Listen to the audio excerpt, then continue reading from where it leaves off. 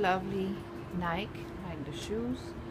Um, very, very pretty girl, very elegant, very well groomed, though she has very long nails.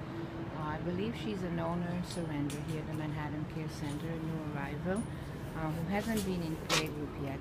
Uh, she meets other dog very nicely, very low key.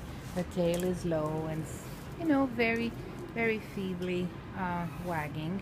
Uh, but she's a little bit lost and she's a little bit trembling here uh, because she's a little bit scared uh, and wonder why she's here when she had her home just yesterday again. She's been really well cared for.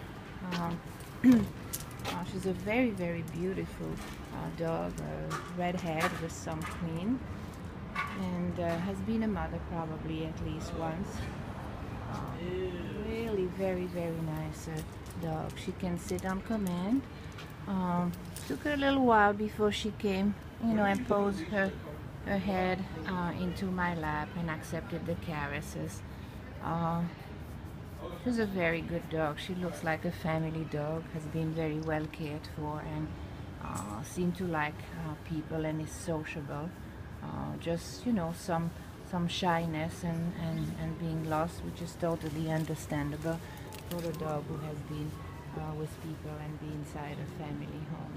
Uh, I really like her a lot. She's very, very beautiful and very elegant. And uh, I hope she will do well on her safer and that she will go um, to adoption and find uh, a good owner and a good family who will love her and take them take her in, in their home. Uh, so this is Nike, N-I-K-E, um, young uh, female we have here in Manhattan. Yes, Nike.